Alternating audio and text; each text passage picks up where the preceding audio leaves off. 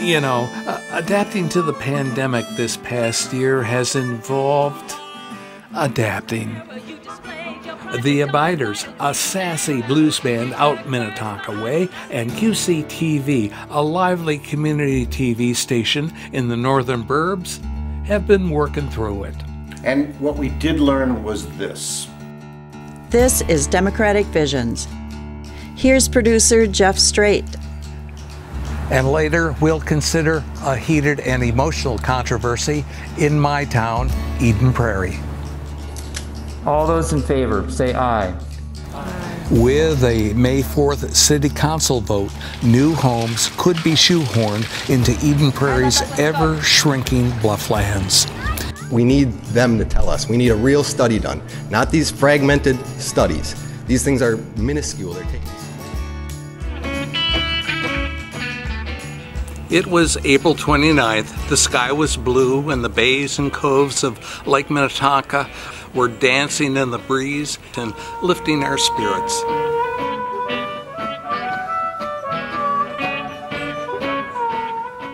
I figured it was time to visit the K&J Surf Shop in Mound. It's just a few feet from the beautiful shore of our inland sea. Karl and Julie Weisenhorn and Zola, uh, their best friend, were walking onto the surf shop's deck when I arrived. A big old check. I rip it up so they, they wrap your arms. We know one another. They're the heart of my favorite blues band, the Abiders. Top shelf artists, loose and, and bursting with fun. Feel like I'm in heaven.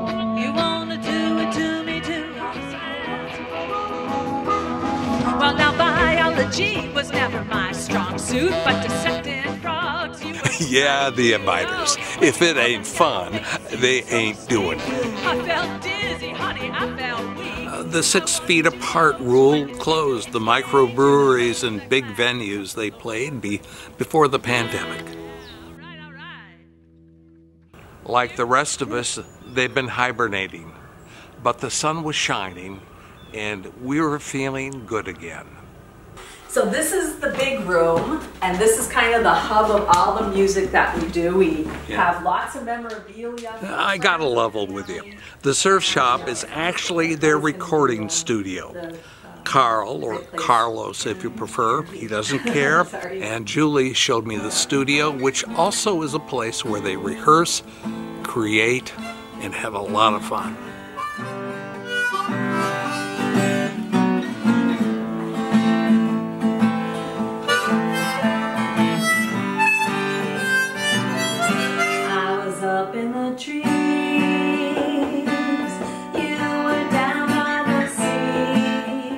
What have, what have the abiders been doing during the COVID uh, protocols? We unfortunately haven't been able to play together, so we haven't done any gigs. We haven't been rehearsing, and we haven't really even seen each other for quite a while. But we have uh, done a number of Facebook videos and posted those out, which have been kind of fun, and gotten good response from our viewers and listeners. And then we've been writing songs. We're working on a new album, uh, tentatively titled The Green Album by my brother Scott, who's playing bass on it. And uh, we'll see what happens. So we're kind of just just kind of working on it and having fun. And the, the new songs really are the, the outcome of Julie's mind, heart, and soul because she's had these songs in her for a long time. And now that we have not been, quote, distracted with real gigs, I think she's been free to use this room to let her stuff come out. And it's really, I'm really proud of her. I think it's important to know that the reason I got Julie this first guitar is while she played piano, we sang in a, in a cover rock band and she wanted to write music. And the only way to write music really was to start with a guitar. So, I got her a good guitar to start with. And the rest is kind of history. She stayed with it ever since. And look what's happened. You know how many guitars a person needs? One more. And harmonicas? Hmm, not necessarily.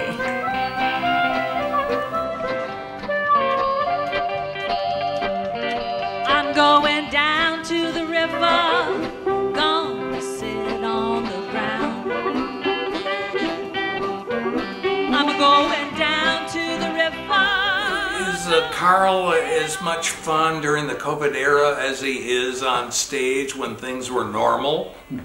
Karl's been doing great. Carl retired in September.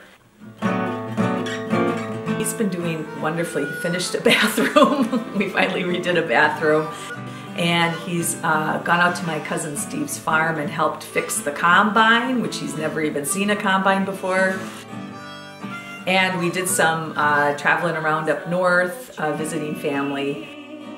But he's been really busy helping people. So he's been kind of the, the nice guy in the neighborhood. But my to-do list, I, everybody said, what are you going to do when you're retired? You're so busy and traveling. I'm on page seven of my to-do Yeah. list. And every time I check one off, three more show up. So, So, how many pages are there now? there's seven that maybe I just looked at them this morning and went, I have to flip a page. I ran out of room again. The Abiders were formed a decade ago after Carlos and Julie met Doug Moland in Excelsior. Andy D and other crazy good musicians joined the band. And uh, who among us would have figured that Carlos, as Karl, had a career in graphics, imaging, and technical management? Uh, Julie Weisenhorn has also led a double life. She's a University of Minnesota Extension educator and one of its specialists on WCCO Radio's The Smart Garden Show, hosted by Denny Long. Julie Weisenhorn from the University of Minnesota. Good morning, Julie.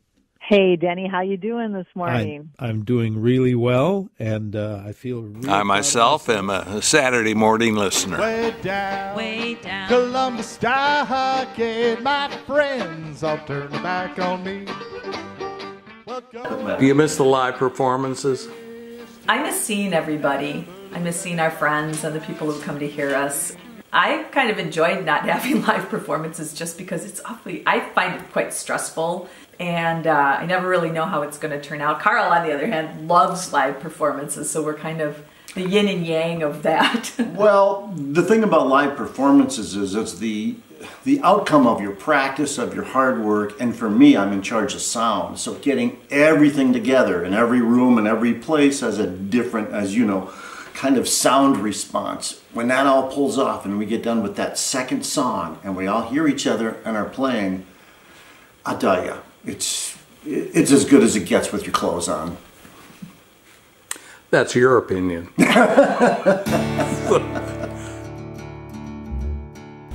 We'd like to thank the Lake Minnetonka Cable Commission production team for their mighty fine sound check footage that was made in Mound a, a couple of years ago.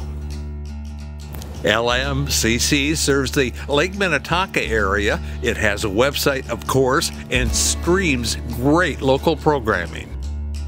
Check them out.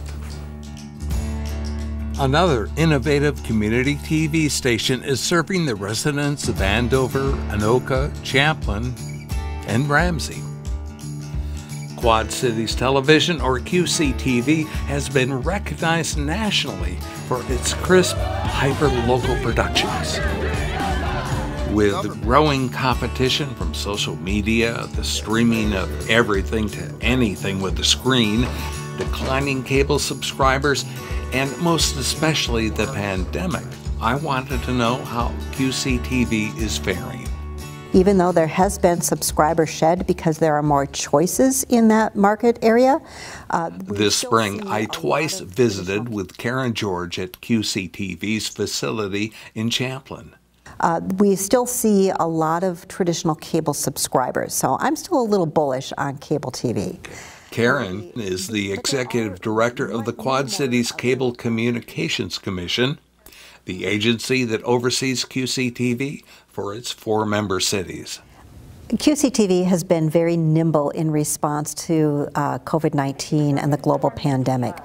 Uh, it was just a little over a year ago where e- essentially the world stopped uh, and people were asked to stay home. And we did not stop services here at QCTV. We did not stay home.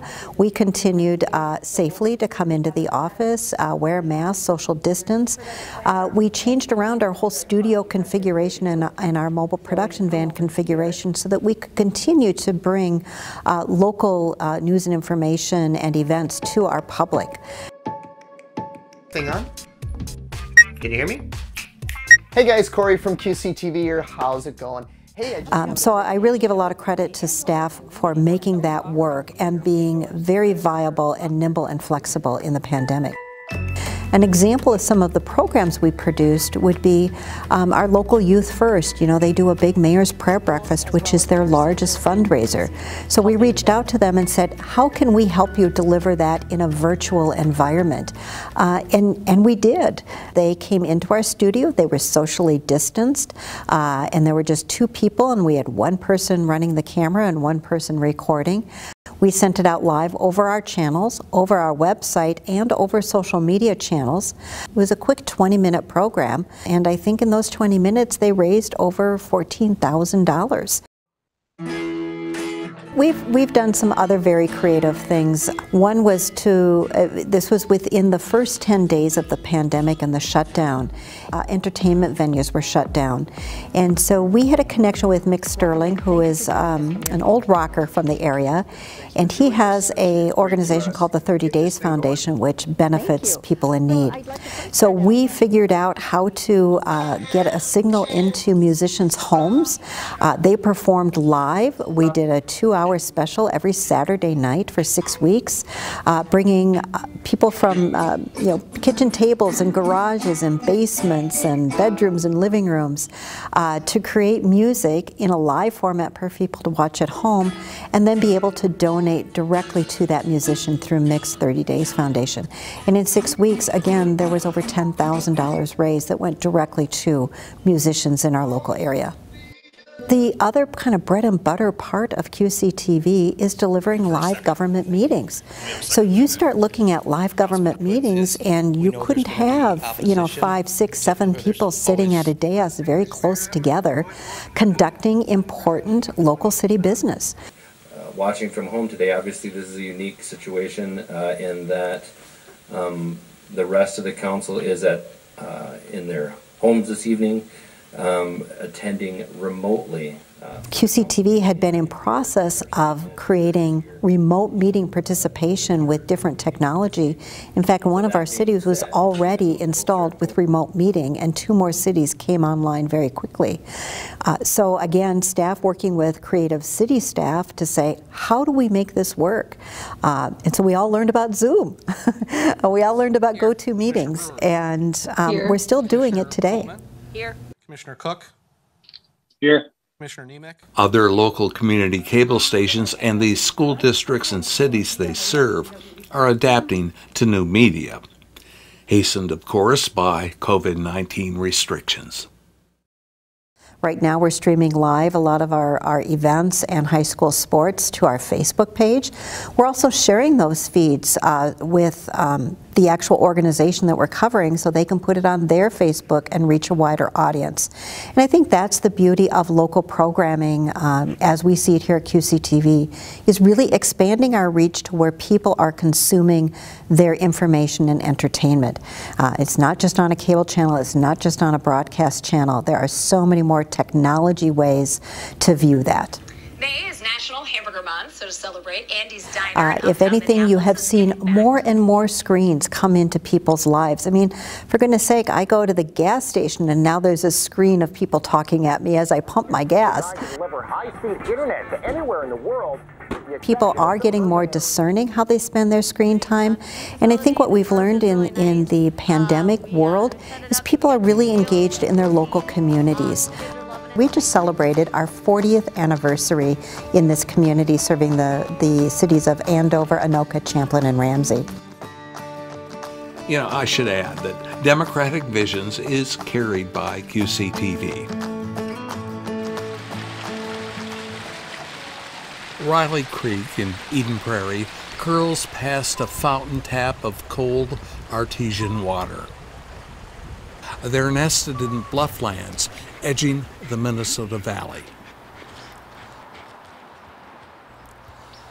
The flow from the pipe originates from a spring hidden from public view a bit to the west. It never stops. Neither do those who come for drinking and cooking water. I come from Shakopee to, to come to the well, and I've been coming here for many, many years. It tastes fresh and you know it has no after aftertaste, and it's just it's cold and pure and clear, and love it better than city water. Some forgotten panel of well meaning officials named the spring after previous owners a Mr. Frederick and a, a Mr. Miller. Uh, they don't sound like Lakota names. Everyone has a right to be here, to pass through here, and to have. On May 4th, folks from around the region who appreciate the spring joined like minded Eden Prairians. The City Council was holding a public hearing on a development proposal for 50 expensive new homes above and near the creek and the spring tap. Now, Pulte Homes, a major national builder, will buy 28 acres from the owner, the Standall family, if the city approves their project. Nearly a third of the property, the part close to Riley Creek and the public tap, would be deeded to the city, probably for park purposes. The geography of the land is concerning that someone would want to develop it. It's about the community's love for this general area. Rebecca Prochaska and Sue Bennett live nearby what is being branded as Noble Hill. They are not neighbors, but the Noble Hill proposal brought them together.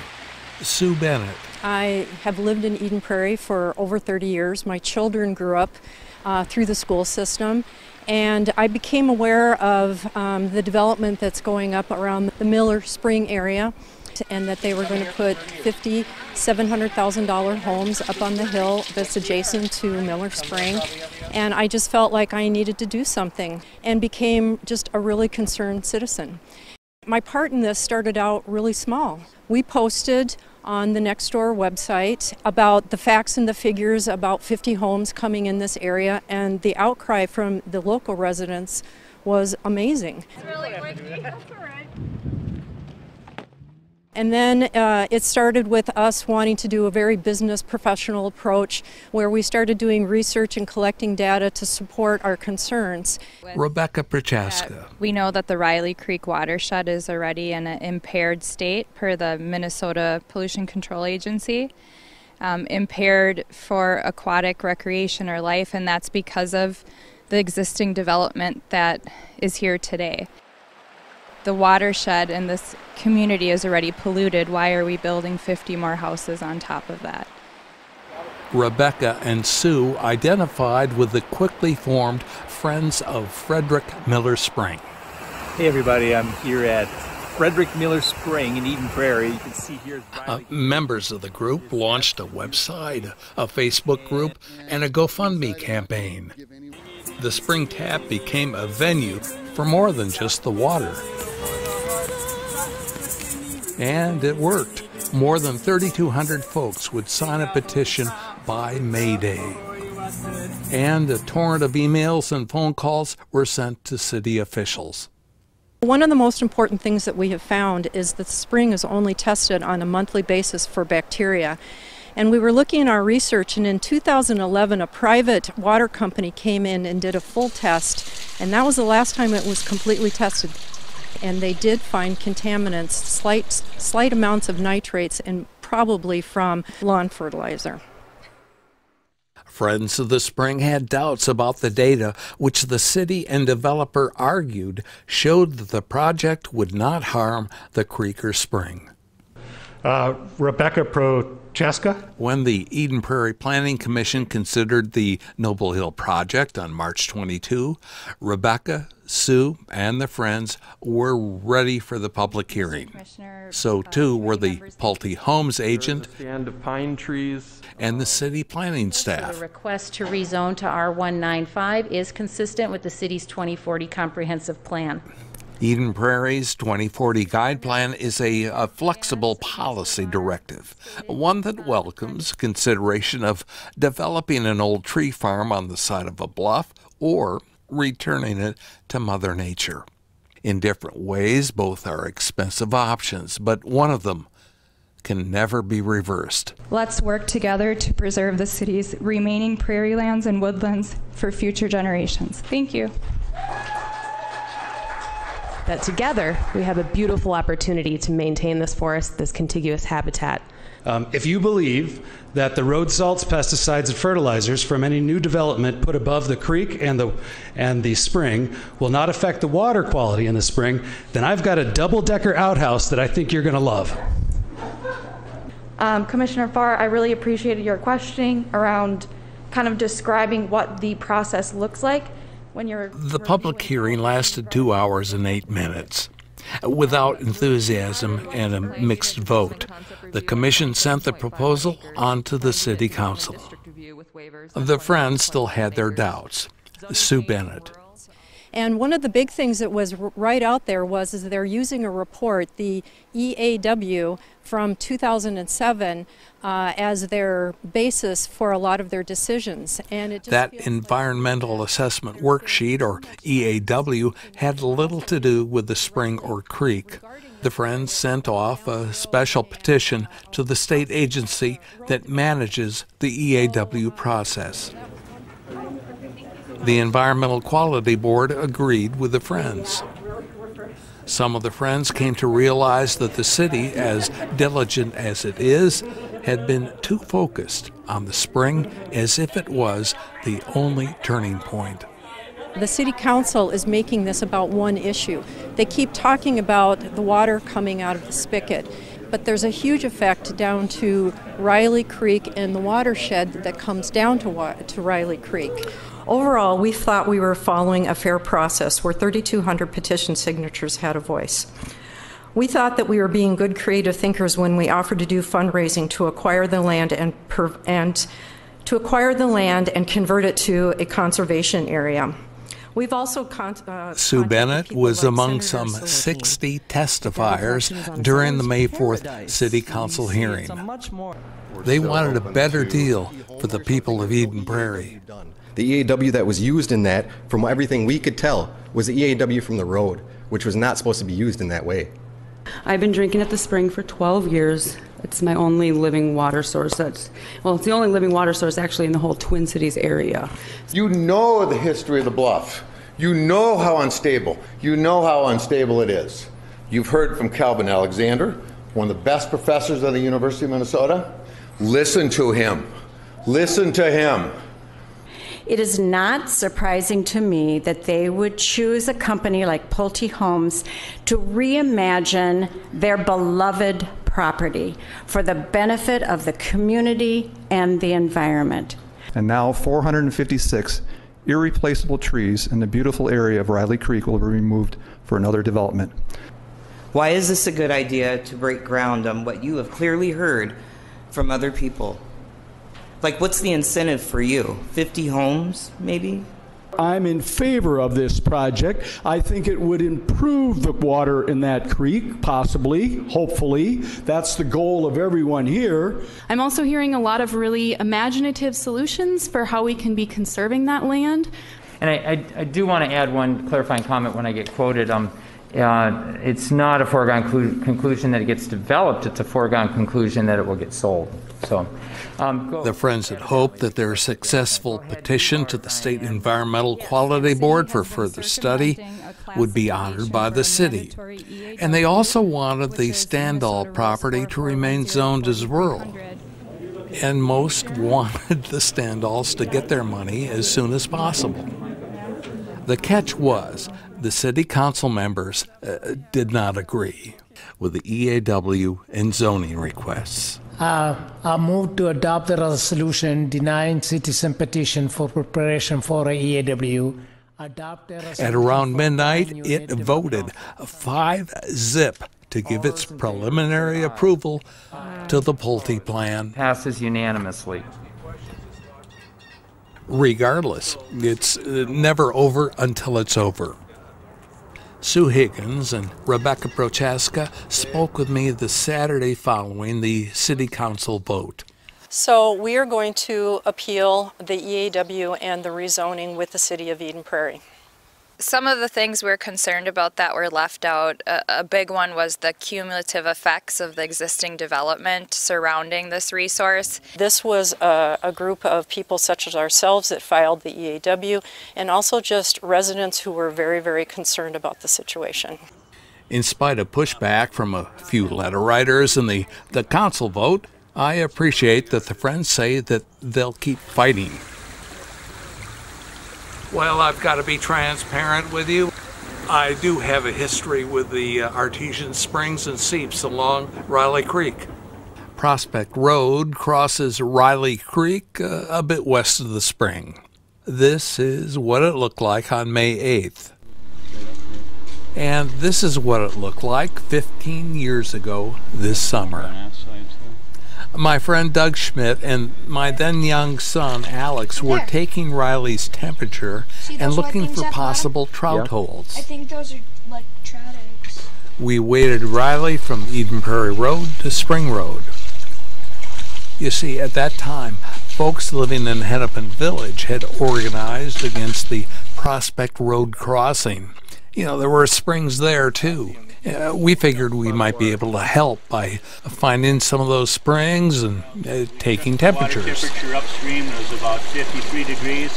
For a while, the Cedar Hills Golf and Ski area that used to be here kept a trout pond along the creek.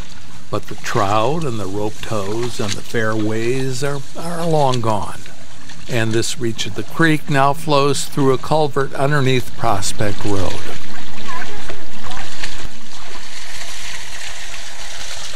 About 50 and a half degrees. Homes now edge the bluff tops along the creek, but the seeps that supply the spring water are located within the Prairie Bluffs Conservation Area.